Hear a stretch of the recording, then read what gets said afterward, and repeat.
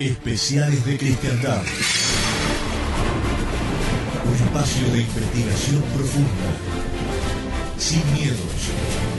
Sin tabúes. Para llegar al corazón de los problemas que aquejan a nuestra Santa Iglesia. A nuestra patria. A nuestra sociedad. A nuestras almas. Todos los temas a fondo como solo Radio Cristiandad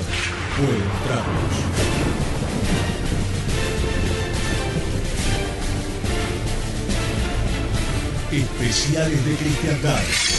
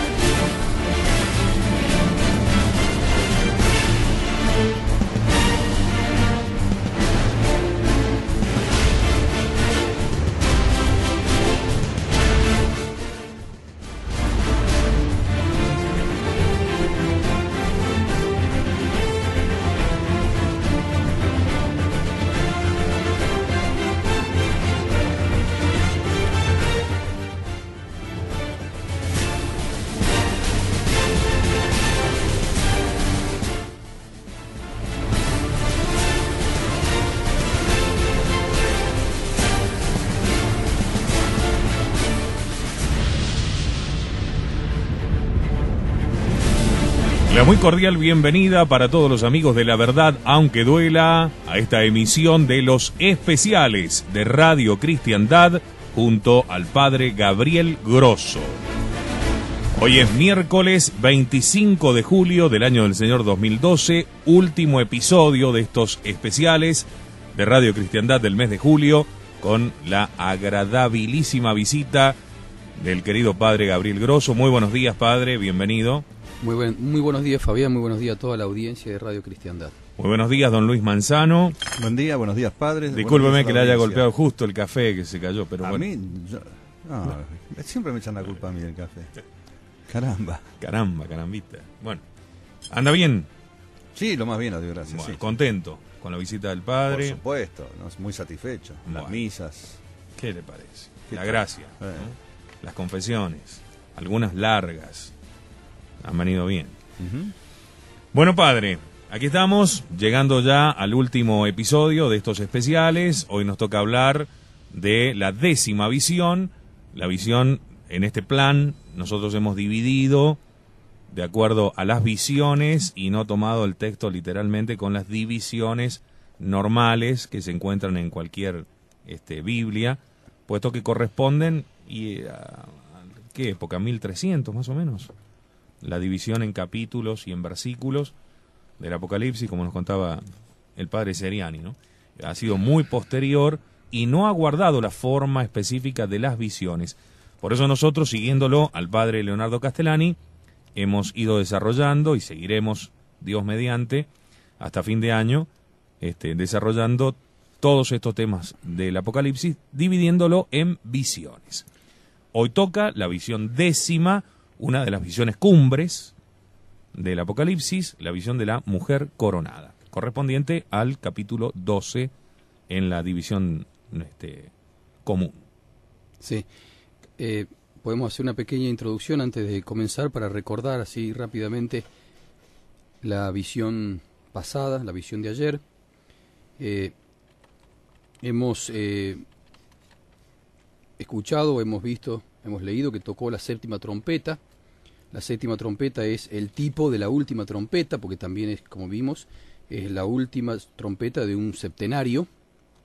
Está relacionada entonces con la última trompeta, cuando viene nuestro Señor. Entonces, aquí necesariamente eh, tienen que pasar los capítulos simultáneos o, eh, digamos, muy próximos uno con otro, los capítulos que llegan hasta el capítulo 19, que es la venida propiamente de nuestro Señor en gloria y majestad a destruir al anticristo. Entonces, necesariamente, después de la séptima trompeta tiene que venir. Se corre el catejón, empieza la gran apostasía, comienza el anticristo o los anticristos a reinar, lo vemos en el cuerpo, en el cuerpo, digamos, en, la, parte material de la iglesia, en la parte estructural de la iglesia.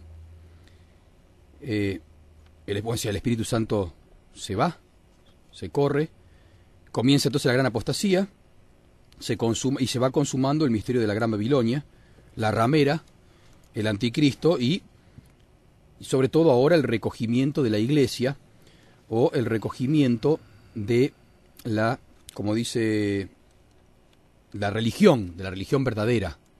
Y una parte, sabemos que una parte de la religión verdadera hoy en día es la tradición, ¿no? Eh, ¿Y por qué? Porque, ¿Por qué digo una parte? Porque, bueno, porque eh, los comentadores también hablan aquí de la conversión de Israel, por eso, por eso digo una parte, ¿no? Que ahí lo vamos a ver un poco, sobre todo cuando el padre Manuel Lacunza eh, hace una interpretación estricta de la mujer coronada como el Israel, la, la, descendencia carnal de Abraham, que se convierte en el último momento antes que venga nuestro Señor.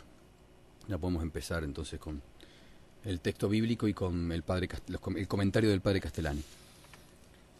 Dice el libro del Apocalipsis, y una gran señal apareció en el cielo una mujer revestida del sol, con la luna bajo sus pies, y una corona de doce estrellas sobre su cabeza, la cual, hallándose encinta, gritaba con dolores de parto y en las angustias del alumbramiento. Y comenta el padre Castellani, la visión de la gloriosa parturienta pertenece a la séptima tuba. Esta mujer es o bien la Virgen Santísima o la Iglesia o Israel no conviene simplemente ni con María Santísima ni con la Iglesia, aunque en cierto modo sí, por lo cual la liturgia lee este pasaje figurativamente en algunas fiestas de Nuestra Señora, y los pintores cristianos representan con ese símbolo la Inmaculada Concepción. Como símbolo de Israel, alude a la conversión de los judíos en los últimos tiempos. La mujer de las dos estrellas aparece en el cielo como una señal, es decir, una realidad prodigiosa y misteriosa. Esta personificación de la comunidad teocrática era tradicional. Se puede ver en Oseas 2.19.20, Jeremías 3.6.10, Ezequiel 16.8, y la imagen de Sión en trance de alumbramiento no era desconocida del judaísmo tal como puede verse en el profeta Isaías 66.8. Con respecto a la Santísima Virgen María, tenemos el, el misal, el misal tradicional, eh, pone sobre todo en la epístola, en la fiesta de la aparición de Nuestra Señora,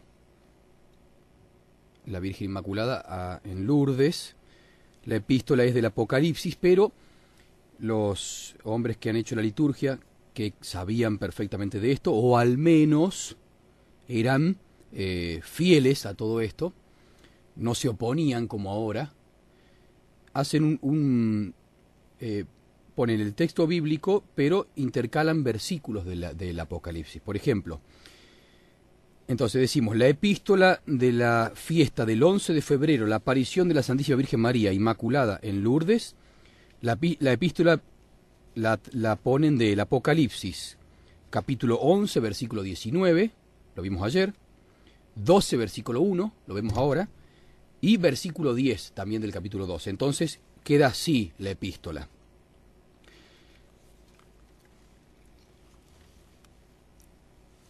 Abrióse el templo de Dios en el cielo, y vióse el arca de su testamento en su templo, y sobrevivieron rayos y voces, y terremoto, y grande granizada.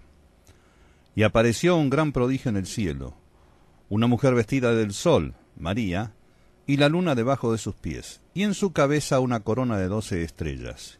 Y oí en el cielo una fuerte voz que decía, He aquí el, tiempo de la salvación, de la potencia y del reino de nuestro Dios, y del poder de su Cristo. Entonces, necesariamente, eh, la liturgia, que por supuesto es una referencia teológica, eh, hace referencia a la Santísima Virgen María y hace referencia a que con la Santísima Vir- Virgen María he aquí el tiempo de la salvación. He aquí la potencia y el reino de nuestro Dios y del poder de su Cristo. Entonces, no em- eh, ya hace una referencia a eh, lo que veíamos ayer, la consumación del misterio de Dios, que es Jesucristo, y el- la salvación de los que son de Cristo. Tenemos entonces eh, la primera figura, la iglesia, entonces, que hoy podríamos decir la tradición, quedará en la tierra, o sea, quedará la religión, un residuo fiel, que es entre el pueblo judío y un resto de la simiente entre los gentiles. Por eso de- decía que no hay que descartar, no hay que descartar eh, el pueblo judío, hacia los cuales van dirigidas los consejos de Dios, huid de en medio de Babilonia, huid de la confusión, salid de ella, que eso se va a ver cuando huya al desierto. ¿no? Entonces esa es la primera referencia que hace la liturgia. La liturgia eh, combina eh, textos del Apocalipsis que no están seguidos. Ayer eh, también mencionábamos el caso del arca que aparece allí diciendo, como dice el padre Castellani, indudablemente es algo que ahora se ve que antes no se veía. Sí, y ¿no? sí. Algunos dicen, este arca del testamento que aparece allí, referido a la Santísima Virgen, Sí. a su, a su participación, este, digamos, más asidua en la vida de los hombres en estos últimos tiempos, digamos desde el siglo XVIII en adelante, y eh, también tiene una correlación con aquello que aparece, o a ver si yo estoy equivocado, con eh, la aparición del arca enterrada, del arca de la alianza, que fuera enterrada, ocultada, ¿no? por el profeta Jeremías, y que en el último tiempo, piensan muchos, aparecerá, y será tomado como un signo ya precursor de la llegada del anticristo también.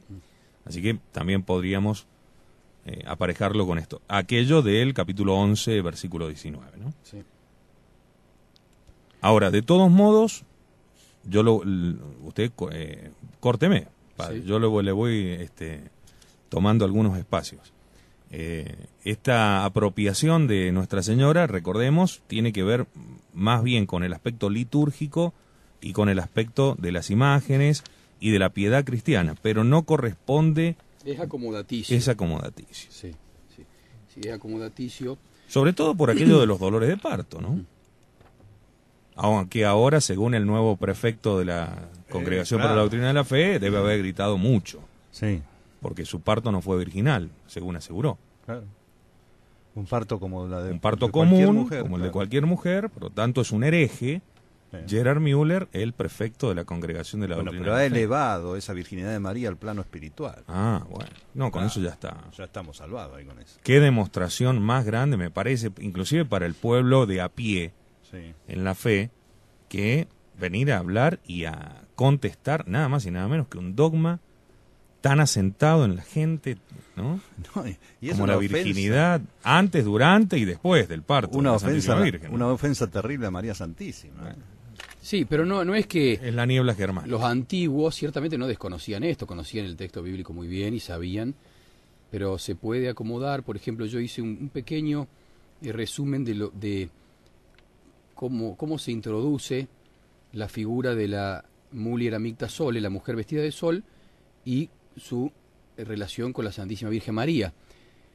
Eh, ¿Cuál fue el proceso configurativo de sus imágenes y atributos y cómo se ha ido adoptando en diversas advocaciones marianas y en la liturgia? Porque la mujer, eh, como Eva pecadora, da luz con dolor y Satanás la persigue y a toda su descendencia. Recordemos, que también a nuestro Señor fue perseguido. Entonces la mujer es pues el pueblo de Dios, pero la mujer da a luz un hijo varón, el Mesías Cristo, que será arrebatado al cielo. Una alusión a la ascensión. Y el triunfo de- definitivo de la redención. Entonces, pero el paralelismo María Santísima Iglesia a la mujer vestida de sol es apropiado, ya que la Virgen es también, según la tradición, imagen de la Iglesia. O la parte más prominente, lo mejor. El primero que identificó a la Santísima Virgen María con la mu- mulie- Mulier Amicta Sole fue San Bernardo, en un sermón que tiene. Pero él no dice que es la Santísima Virgen María, sino que él pone, y esto es muy interesante, él pone la iglesia, nuestro Señor, pero en el medio la pone a la Santísima Virgen María como mediadora. O sea que entendieron ellos que era, que era la mediadora. Después, desde el siglo XII, se empieza entonces a representar, a partir de, de San Bernardo, a la Santísima Virgen María como mu- Mulier Amicta Sole, la mujer vestida de sol. En Occidente eh, aparece en el comentario al Apocalipsis del Beato de, Lieban, de Liébana, que es, una- es un muy antiguo comentario al Apocalipsis, y después vamos, vamos a poner, la- el, eh, porque no solamente comentó, sino que también hizo eh, dibujos sobre la Santísima Virgen, sobre los pasajes del Apocalipsis. Y entonces, la Muli Micta Sole se va adaptando a diversos contextos marianos. Primero, Reina de los Cielos, Reina de los Ángeles, la Asunción y la Inmaculada Concepción. Y a partir de ahí, entonces, viene desde Flandes y en el siglo eh, XVI, una de las primeras pinturas fue una que se obsequió a la Reina Católica, a Isabel la Católica. Desde ese siglo, en España, por lo menos, la mujer apocalíptica terminó siendo imagen característica de la Asunción, o sea, de eh, lo que representa propiamente eh, este, esta figura bíblica, es la Asunción de, los redimidos, ¿no? O el apartamiento de los redimidos. Y ellos, bueno, ellos sabían ciert- eh, muy bien lo que, lo que hacían y por eso lo pusieron en la liturgia, ¿no? Eh, además yo creo otra cosa, la misma Virgen se adjudica esta imagen porque cuando se aparece eh, en México a Juan Diego, Sí. está revestida de sol y con la luna bajo sus pies. ¿Mm? La tilma de Juan Diego en Guadalupe. Sí, me, me parece que además es una idea este, tremendamente afincada, ¿no? La de la equiparación de esta mujer, que no solamente eh, um, estoy equivocado o también en las en todo lo que es la iconografía de la Inmaculada Concepción también aparece Sí, sí, sí. bajo la misma Sí, sí. Sí. Digamos, para pintarla, para esculpirla, eh, toman como referencia esa imagen, la mujer vestida de sol con la luna bajo sus pies. E incluso en el... y aplastando en otras también Sí, aplastando bueno, no, la por, eso, por serpiente. eso decía que íbamos a poner eh, la imagen de, del, de este comentario del Beato de Liébana, que ahí se ve también el dragón con las siete cabezas y que vomita su río de agua, es bien completo. Bien. Pero sí se cuidan mucho de eh, no aparece el niño. Ahí ne- no aparece el niño, no aparece eh, el parto. Está la, la Santísima Virgen María sola. No es que creían como los modernos que, que dio a luz y con dolor. Como sacaron hace, hace un- unos años atrás una película que la recomendó el Vaticano. ¿no? Ah, sí, donde aparecía la Virgen pariendo como... Pero la recomendó, el- eso lo peor de todo, que la recomendó el Vaticano. Sí, recuerdo esa. Bien, entonces, continuamos con el padre Leonardo Castellani, con el texto bíblico y el padre Leonardo Castellani. Bien, eh, el vestido de sol, dice el padre Castellani, es la fe verdadera y la luna bajo los pies es el mundo cambiante. La corona de dos estrellas es la plenitud de la doctrina y los predicadores de ella. Por eso se dice que en el fin del mundo el sol se oscurecerá y caerán las estrellas. Aquí mismo en esta visión hay una gran caída de estrellas, la tercera parte de las estrellas del cielo arrastradas por la cola del dragón y que son arrojadas a la tierra. Eso significa la gran cantidad de doctores del error que habrá en el fin del mundo. Bueno, que no me digan que no es la época actual esto. Sí. Totalmente. Y el padre Manuel Lacunza eh, lo acomoda a esto diciendo que, y no, le está, no está muy lejos, esto se puede ver, diciendo que cuando, eh, porque él atribuye a un tercio del pueblo judío que se va a convertir, por supuesto basado en la Sagrada Escritura, dice que las estrellas son los mismos obispos que los la otra el otro dos tercios del pueblo judío van a hacer que ellos hablen con esos judíos que se quieren convertir para decir no no se conviertan para qué cómo se van a convertir y es lo que está pasando Es lo también que hoy está en día. pasando, claro. ¿Cómo se van a convertir si no hace falta convertirse? Entonces dice que el dragón utiliza eh, las estrellas, que siempre las estrellas son los doctores, los que enseñan la fe, los que enseñan la religión, las estrellas para persuadir a la mujer o para atacar a la mujer para que no, no se convierta. Y, y está bien acomodado, muy bien acomodado. Los doctores católicos, los obispos católicos, cristianos. Sigue el Apocalipsis y dice, y vióse otra señal en el cielo, un gran dragón de color de fuego, con siete cabezas y diez cuernos, y sobre sus cabezas siete diademas. Su cola arrastraba la tercera parte de las estrellas del cielo y las precipitó sobre la tierra. El dragón se detuvo delante de la mujer que iba a dar a luz para devorar a su hijo en cuanto lo diera a luz. La mujer dio a luz un hijo varón, el que ha de regir a todas las naciones con cetro de hierro y su hijo fue arrebatado hasta Dios y hasta su trono. Y la mujer huyó al desierto donde tiene un lugar preparado por Dios para ser allí sustentada durante mil doscientos sesenta días.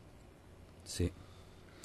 Entonces aquí vemos que Satanás prepara, mediante la gran apostasía, a las gentes, tantos judíos como cristianos nominales, para recibir al anticristo. Y acá también eh, una señal de el tiempo actual son todas las naciones que confesaban públicamente en sus constituciones el catolicismo como religión oficial, han apostatado gracias a la Santa Sede. Por iniciativa de la Santa Sede, por presión de la Santa Sede. Sí. Entonces eso es muy, muy interesante. Claro. Entonces eso demuestra que, por supuesto, comenzó la gran apostasía. Ya lo veía el padre Antonio Van Risten, que él prueba y dice que estamos lejos de ver a alguna nación que eh, sea completamente católica, ¿no? Ya en esa época, en, el- en la, época- en la época de la década del 40. Ahora, acá la mujer que da a luz es aparentemente el pueblo de Israel, que del cual nace eh, Cristo, es decir, Cristo es del pueblo de Israel.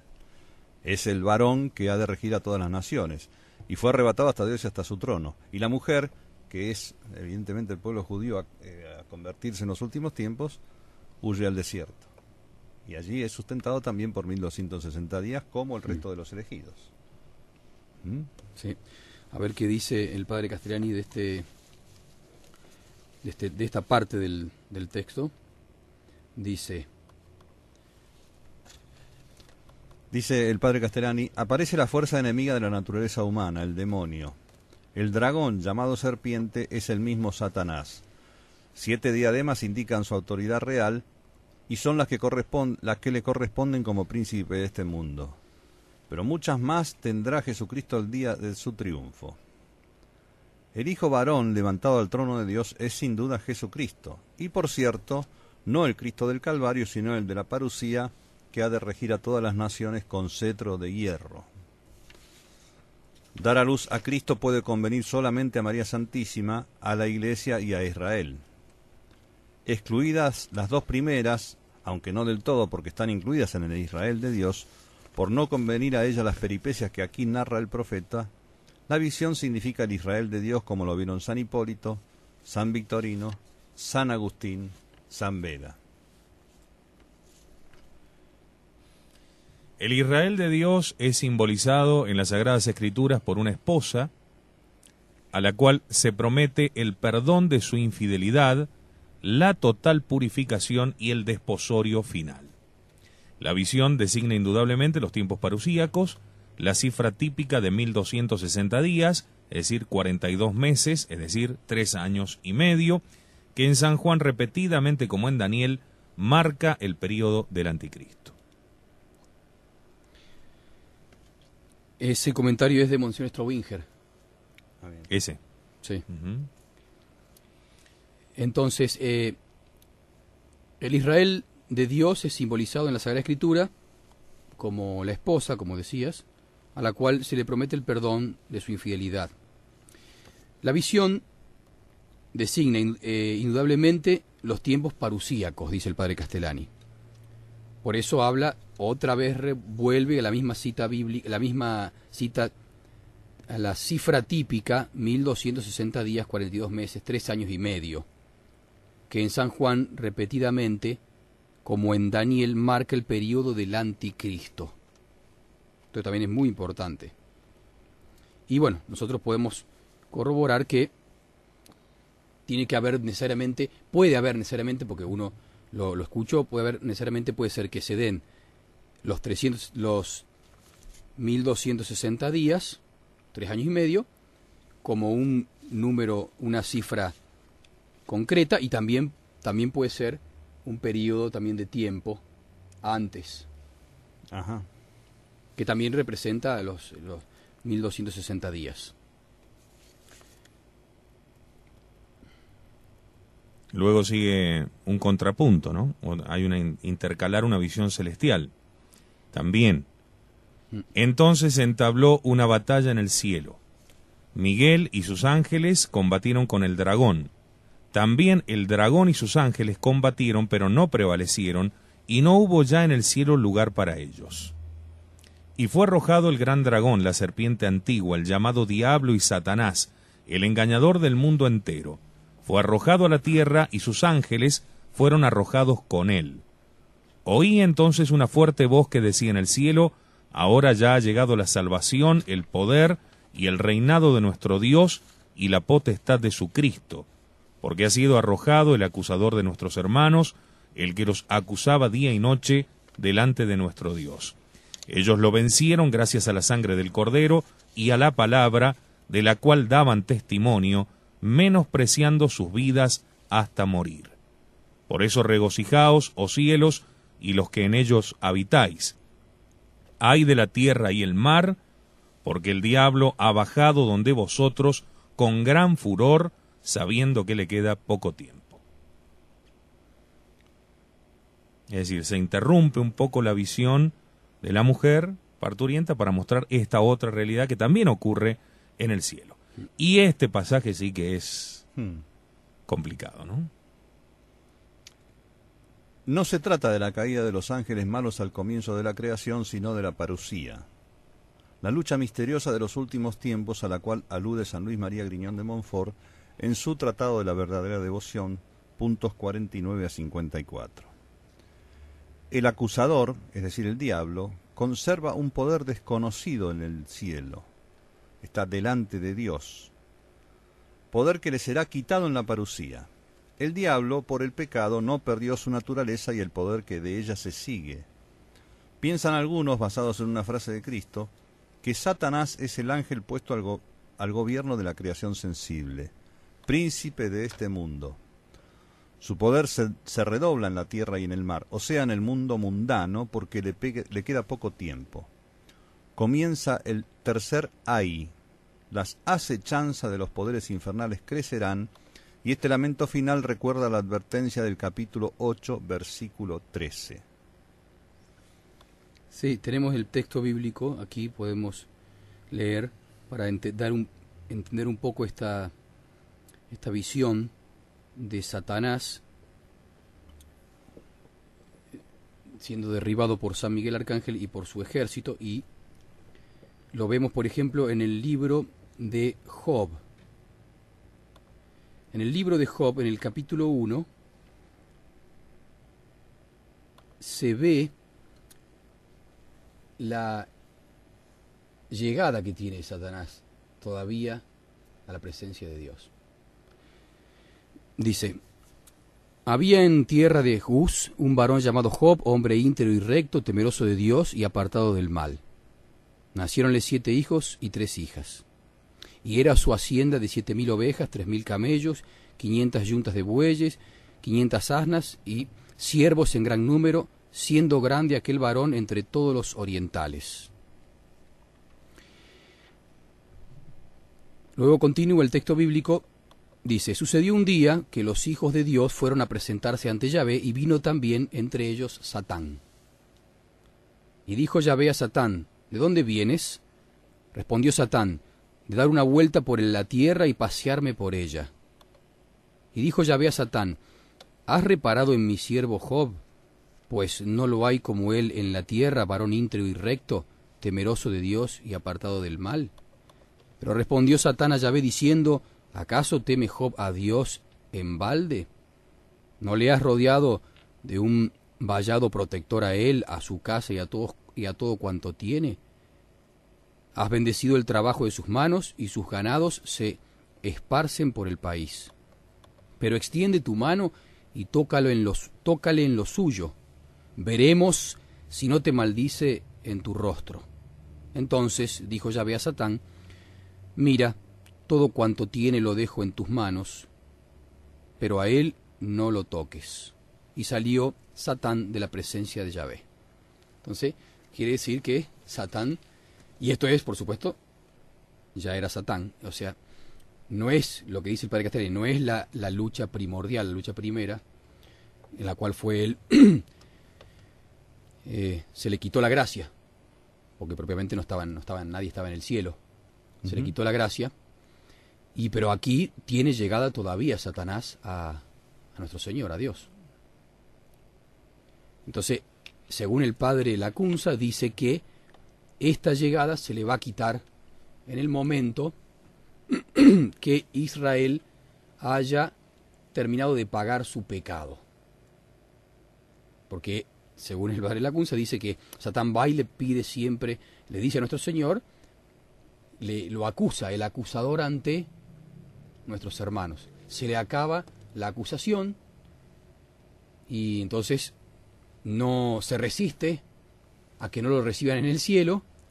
Hay una lucha intelectual, una, una, lucha dialéctica con San Miguel y sus ángeles.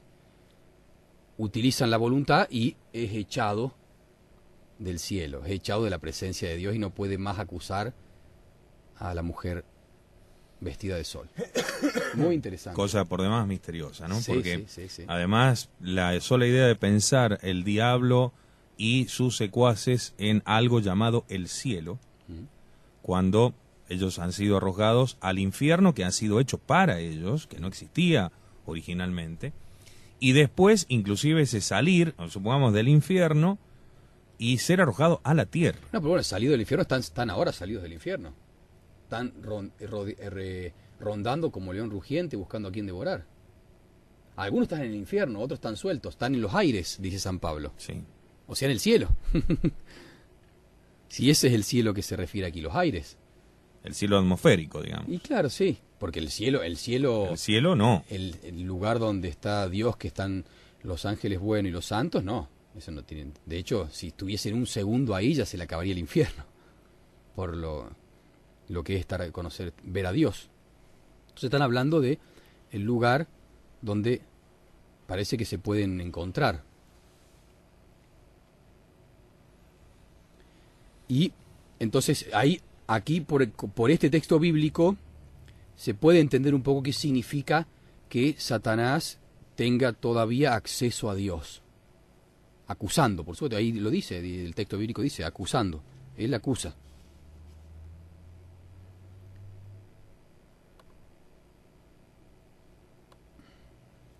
Dice, continúa el padre Castellani, el acusador.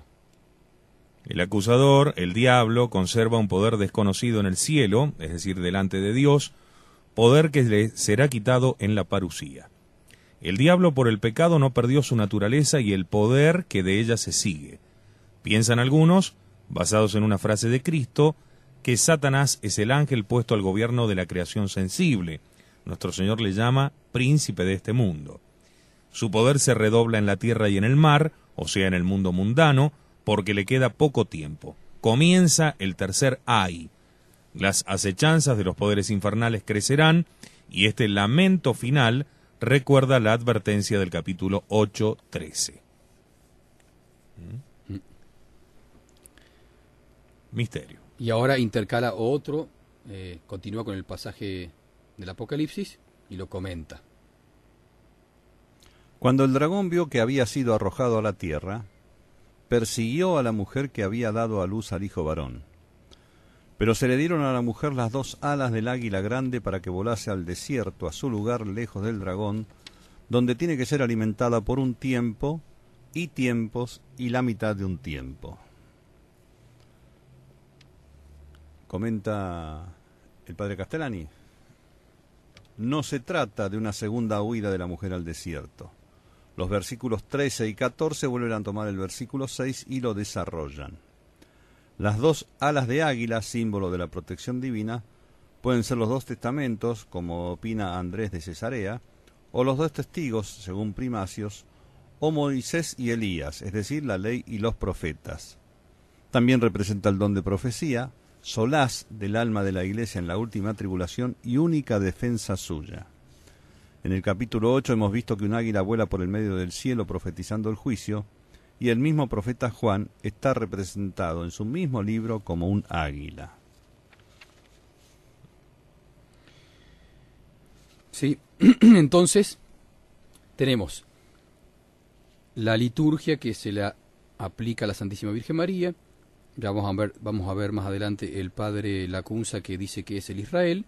Y el padre Castellani tiene textos muy interesantes, en la cual dice, por ejemplo, en el en los papeles de Benjamín Benavides, si lo encuentro. Se le mezclaron los papeles de Benjamín, Benavides, sí. sí. Él dice, él habla de la religión fiel, patriarcal y apostólica, en sus dos alas, o sea, en sus dos eh, la parte fiel, la religión, él habla de la religión fiel. Y librada del reino efectivo del anticristo. O sea, hay una especie de, como si fuese un arrebatamiento o una, un quite, lo, saca del medio nuestro Señor para que sea librado del reinado efectivo del anticristo. Eh, esas dos alas que menciona el padre Lacunza son similar a lo, similar a los dos testamentos, ¿no? que acá decía que opinaba Andrés de Cesarea, porque los dos testamentos evidentemente son la religión de los patriarcas y la de los apóstoles, las dos alas que usted mencionaba recién. A su vez, sigue diciendo el padre Castellani, el desierto o la soledad pueden significar el abandono y desprecio por parte de los judíos no convertidos y del inmenso mundo apostático y neopagano en derredor pero también y a la vez puede profetizar un desierto físico, la tierra de Moab, a la cual exhorta Isaías en el capítulo 16, que no rechaza a los refugiados y peregrinos judíos hijos suyos, antes bien los acoja y les sirva de escondite en los últimos tiempos. O sea, vuelve a estar acá el, pueblo de Israel prefigurado en ese desierto soledad y este, relacionado con la profecía de Isaías, que es una exhortación a la tierra de Moab para que no rechace a los judíos que evidentemente, eh, aplicado a los últimos tiempos, significa los judíos convertidos, que van a ser protegidos de algún modo ahí en la tierra de Moab, que les va a servir de escondite. Sí. Aquí el padre eh, Lacunza también tiene una interpretación muy particular.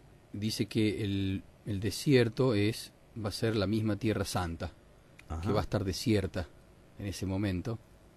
También puede ser una profecía de que según él va a ser destruido todo ese lugar y ahí se va a refugiar el pueblo de Israel, dice el padre Lacunza. Después continúa entonces el padre de Castellani.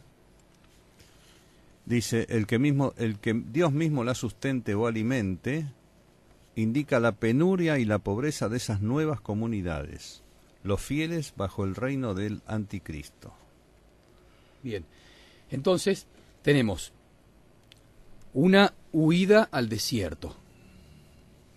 Tenemos que, no podemos dejar de ver, al menos yo aplico así. Ahora, arranca la visión con, de, esta mujer en el cielo.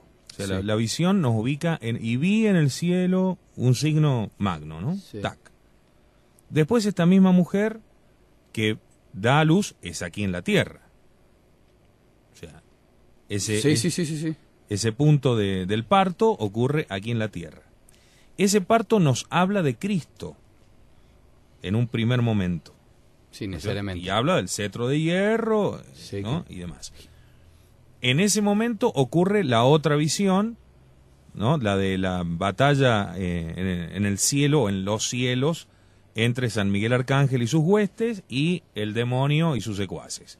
Son destruidos, son arrojados a la tierra y entonces en la tierra se provoca la persecución de el diablo hacia la mujer. Mm. Sí. Y ahí viene el tema de lo que acontece ahora en el pasaje. Entonces el dragón vomitó de sus fauces como un río de agua detrás de la mujer para arrastrarla con su corriente. Pero la tierra vino en auxilio de la mujer. Abrió la tierra su boca y tragó el río vomitado de las fauces del dragón. Bien, eso lo vemos al menos como un tipo, hoy en día. Como dijimos, entonces la religión fiel en sus alas, patriarcal y apostólica, tiene también su tipo y su antitipo. Su tipo puede ser, entonces, la parte apostólica, que es la que está en este momento sufriendo la persecución, digamos, el reinado del anticristo, aquellos que se conservaron virgen, que conservaron virgen su fe, hemos visto que, en cierta manera, han huido al desierto. Y eso se puede ver en la separación que hubo de la tradición de la iglesia oficial, a, raíz de las consagraciones episcopales de Monsieur Lefebvre. Y recuerden que lo habían dicho cuando estuvo el padre Sereni aquí, en los últimos especiales, que había algunos que aplicaban a los dos testigos, hablaban de Monseñor Marcel Lefebvre y Monseñor de Castromayer. Entonces, en cierta manera, ahí continúa Dios es como eh, lleva al desierto a la tradición y la isla de Roma. Eso está clarísimo. Entonces, la entonces esta parte, hablemos de la, segunda parte. ¿Por qué? Porque la parte patriarcal, según el padre Lacunza, que este es el antitipo, que se va a dar también, se tiene que dar, para mí necesariamente, bien al final. ¿Por qué? Porque según la Sagrada Escritura, según por ejemplo el capítulo 13 de Zacarías, habla de que un tercio de los judíos se convertirán a nuestro Señor. Un tercio de los judíos. Entonces, y estos, este un tercio, será la parte principal de los viadores en el milenio. Aquellos que hagan conocer a nuestro Señor a las naciones que queden se le cumplirá en ellos, se cumplirán en ellos las promesas hechas a sus padres que nunca se cumplieron. A ese un tercio. Eso está anunciado en la Sagrada Escritura. Zacarías 13:8. A ver, busquemos. Porque es interesantísimo. Sí. Y después, continúo yo mientras vos Sí. buscas. Y después, la segunda parte, la segunda ala, la- el ala apostólica, aquellos que se conserven fieles, vírgenes en su fe, los que, como dice el padre Castellani, es heredera, es heredera, siendo esposa de Cristo de la nueva Jerusalén, no del milenio, propiamente de las promesas en el milenio, sino es, heredera de la nueva Jerusalén, ciudad que está por venir, con tal de que padezca con él a fin de que sea con él glorificada. O sea, son dos grupos de la religión fiel. Uno tiene una uno tiene que recibir sí o sí, un tercio de los judíos tiene que convertirse al final y sí o sí ser la parte principal de los viadores. Esto es muy importante esa palabra, viadores. En cambio, y, ahí- vendría los 144.000 que vimos en abril, porque esos 144.000 son de las tribus de Israel. Y luego viene otros 144.000 que son los que están, dice, están sobre el monte Sión con el Cordero, reinando desde el monte Sión. Eso sería la iglesia que se ha, con- ha conservado virgen su fe. Y recuerdo la cita que leímos eh, ayer del padre Castellani, todos los cristianos que no crean en la segunda venida de nuestro Señor se plegarán a la fe adulterada y esta nueva religión les hará creer en la venida del otro.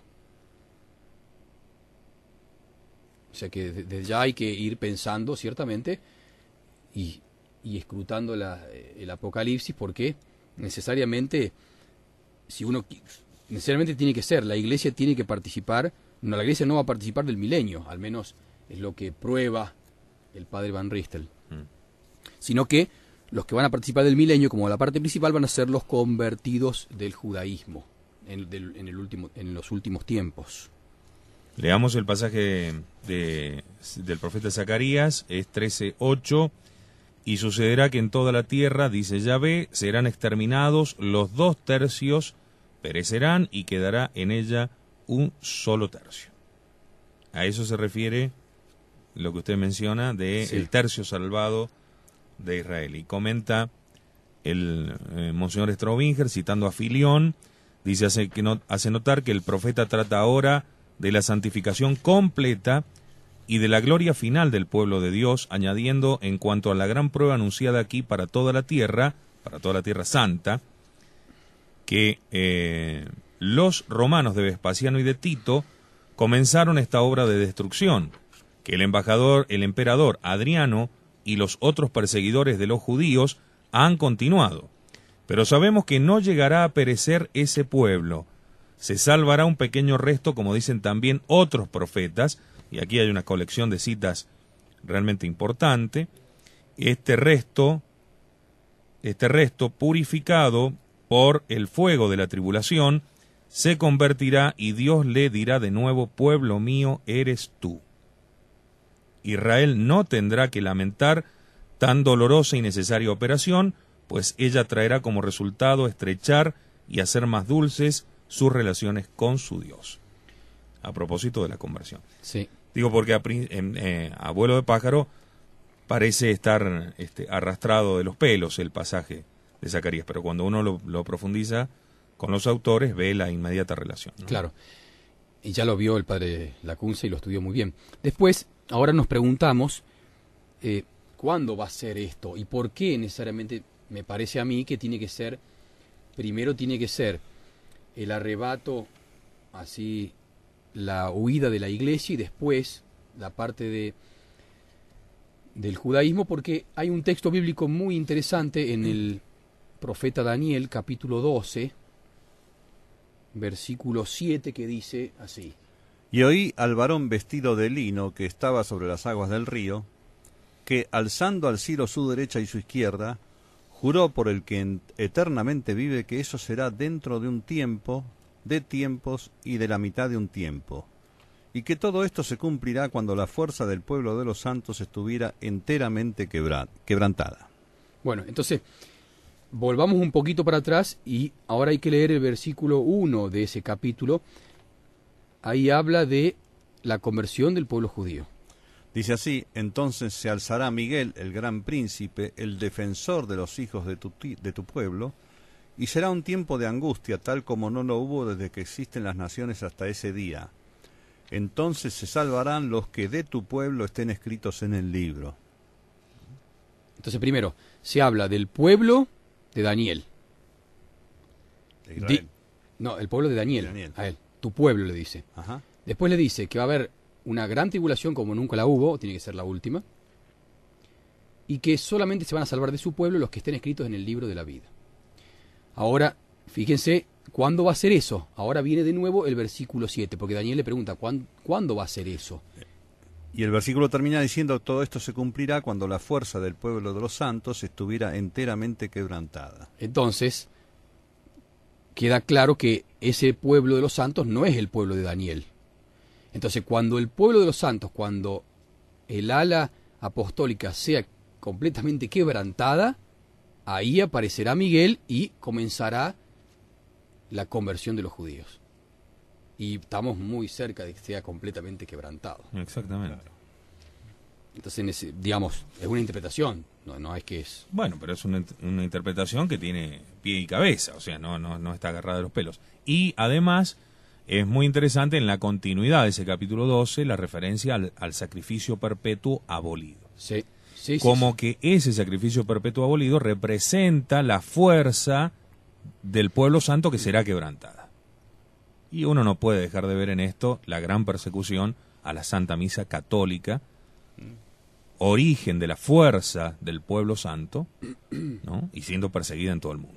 Entonces uno se pregunta o medita por qué, eh, o si vamos a saber o lo vamos a conocer, pero para mí entonces la señal es esa, cuando es- esté completamente quebrado y, y quede reducido a casi nada o al menos insignificante, la iglesia tiene que operarse el otro misterio.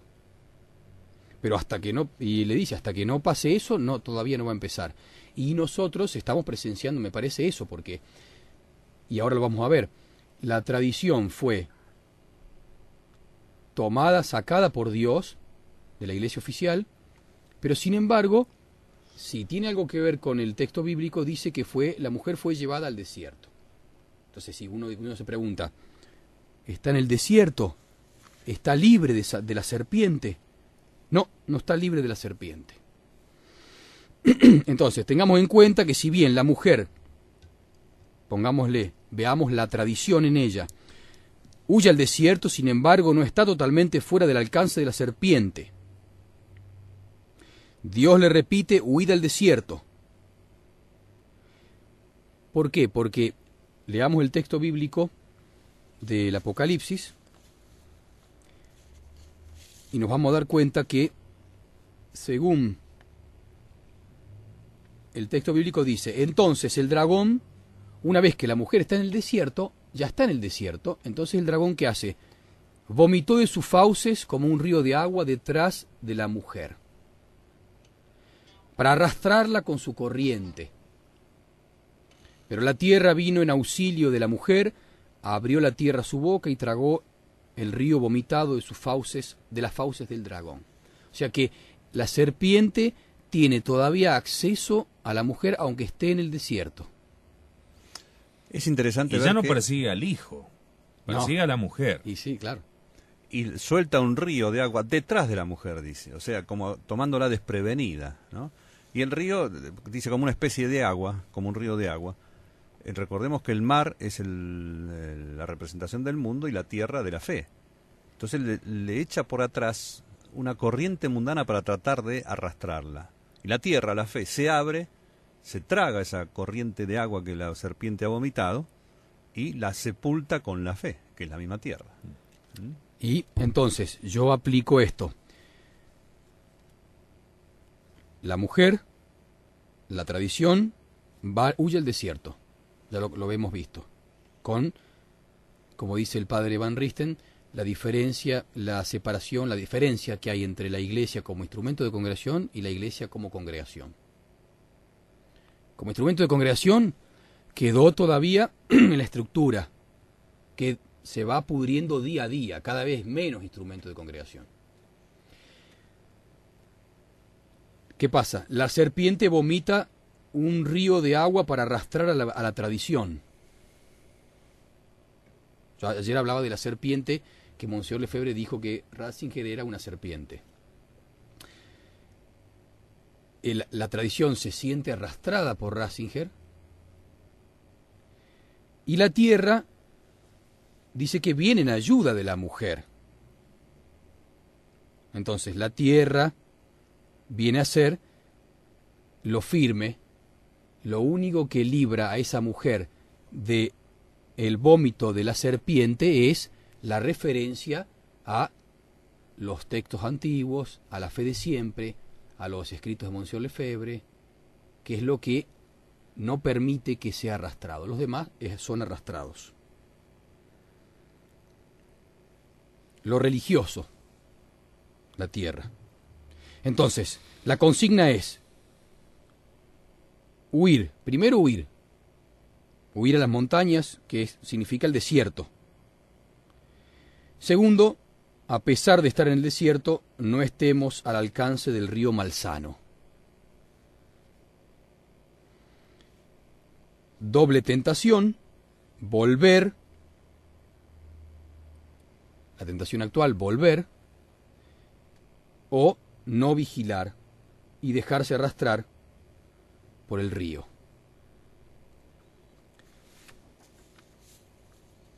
Y eso es, al menos lo que le está pasando, nadie puede negar que eso es lo que le está pasando a lo que queda de la tradición.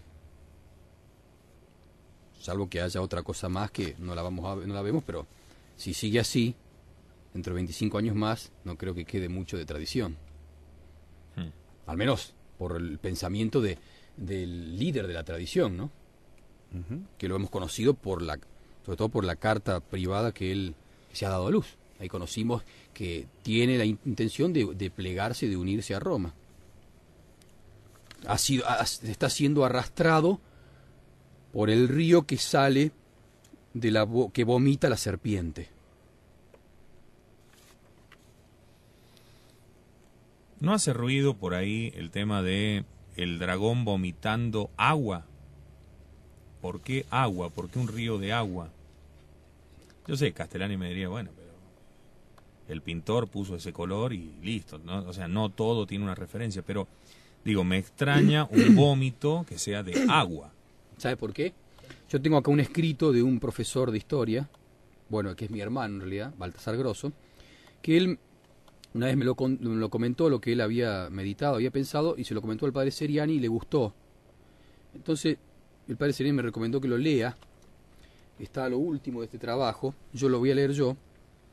Dice, y habla con respecto al agua. Dice así. A ver si lo encuentro. Tiene que aparecer aquí. Acá está. Las dos mujeres del Apocalipsis nos plantean datos que competen a nuestra edad histórica con respecto a la iglesia eterna y tradicional y a la iglesia carnal o anticristo, también distinguidas por Monseñor Lefebvre. Una de las dos mujeres, la llamada ramera, cuyo nombre es misterio, iniquidad, es la parte carnal de la iglesia, la cual por ser infiel persigue y calumnia a la verdadera iglesia y se atribuye para sí el representarla. Como afirma San Agustín, en deber a religión, algunos justos llegarán a ser expulsados de la congregación cristiana debido a la acción de la gente carnal. Con respecto a la mujer fiel, según el relato apocalíptico, padecerá dolores de parto y se salvará del dragón por intervención milagrosa de Dios, que le dará la posibilidad de huir a la soledad del desierto con las dos alas de, águila. Esta figura, el águila, es representada como uno de los cuatro animales delante del trono de Dios, y tanto la tradición como los santos padres ven la figura en forma de águila como al mismo San Juan. Esto nos permite interpretar que las alas que le permiten a la mujer librarse de las garras del dragón son las profecías mismas, Apocalipsis, dadas por el discípulo amado, que gracias al estar velando en ellas le permite no caer en manos de su enemigo. A pesar de ello, la iglesia fiel sigue siendo atormentada por el dragón y utiliza un río de agua sucia para tratar nuevamente de adulterarla. Este río de agua sucia significa, a nuestro entender, los falsos sacramentos, ya que los sacramentos tradicionalmente son representados con el beber agua pura, y no solo eso, sino que nuestro Señor Jesucristo en numerosas ocasiones ofrece de esta agua pura para la salvación. En el encuentro de Jesucristo con la samaritana le dice, si tú supieras quién soy, tú me pedirías que te diera de beber agua. Y reafirma solemnemente, quien bebiere el agua que yo le daré, nunca jamás volverá a tener sed. San Juan 4:13. Con respecto al agua, como figura de los sacramentos, el relato evangélico nos trae algo muy particular y que se da solo dos veces dentro del mismo, y es que nuestro Señor cuando da a comunicar esta verdad grita, o algunas traducciones afirman que alza la voz. También sabemos que otro grito se produjo cuando ya todo estaba cumplido, cuando expiró en la cruz. Al darnos este dato sobre la manera en que Cristo expresó esta afirmación, nos da a entender su importancia para aquellos que lo escucharon y lo escucharán, y literalmente el texto expresa, en el último día de la fiesta, que es el más solemne, Jesús se puso en pie y en alta voz decía, si alguno tiene sed, venga a mí y beba. Del seno de aquel que crea en mí manarán, como dice la Escritura, ríos de agua viva. Esto lo dijo por el Espíritu Santo que había de recibir que habían de recibir los que creyesen en él, pues aún no se había comunicado el Espíritu Santo, porque Jesús todavía no estaba en su gloria. San Juan 7, 37, 39. Aquí el mismo apóstol da una pequeña explicación de la afirmación de lo afirmado por Cristo, ya que aclara que esta agua viva es el fruto del Espíritu Santo, el cual tiene como misión el de entregar los dones y ser catejón de protección contra los errores. Después del Concilio Vaticano II empieza a distinguirse estas dos mujeres y la fornicaria se consolida en su iniquidad, las cuales son nacidas de una misma madre, la religión o la religiosidad, como afirma el padre Castellani. Una de ellas, la falsaria, ya no hace uso del Espíritu Santo y sus sacramentos son agua sucia para las almas y preparan a los hombres para servir al dragón. Y éste, como no puede engañar a la iglesia del Espíritu Santo, que se nutre del agua pura que sale del mismo seno del Señor, trata dialécticamente con el río de agua sucia de engañar y de contaminar sus sacramentos, y esto se puede ver muy bien con lo que ha logrado el motu propio, pero aquellos que estén velando en las palabras de San Juan Águila no caerán en manos del dragón y de su falacia. Entonces hace referencia al agua y... Muy bien, Baltasar. muy bien. Está bien, sí. Ahí entonces, claro, el dragón utiliza un elemento que nuestro Señor pondera, el agua, pero ya arruinada. En realidad, el texto, según lo, lo traduce, digamos, desde los textos originales, Monseñor Strominger, habla de un río. No dice río de agua. Claro. Dice río. El río, porque cuando dice río de agua, ¿no? que no sé, en, en otras este, versiones aparece así, ese río de agua nos trae la imagen de agua potable, de agua pura. No necesariamente la primera imagen que se viene a la cabeza al decir río de agua sea imagen de agua sucia. Pero si solamente dice río, como pone aquí Monseñor Strominger, ya la cosa cambia. Sí, en la, en la vulgata dice tanquam flumen, agua como de río, agua de río. Y es referencia, ciertamente. Y eh, Torres Amat dice cantidad de agua como un río. Nácar Corunga dice como un río de agua para hacer que el río la arrastre. Todos traducen así, ¿no? Bueno, la traducen de la vulgata. Excepto Strominger. Sí. Y él es el que pone solo río. Pero realmente es una, un acercamiento este, muy interesante una apropiación este, del texto a la, actualidad muy buena hecha por Baltasar. ¿eh? Sí, Muy bien, muy bien. Muy bien, ¿quiere que hagamos una breve pausa aquí? Este, tomamos un café de agua limpia. Sí. Antes, después que ya con el café queda Queda negra. Queda negra, como los sacramentos de la iglesia modernista, bien negros. Ya enseguida regresamos a estos especiales de Radio Cristiandad aquí con el padre Gabriel Gross.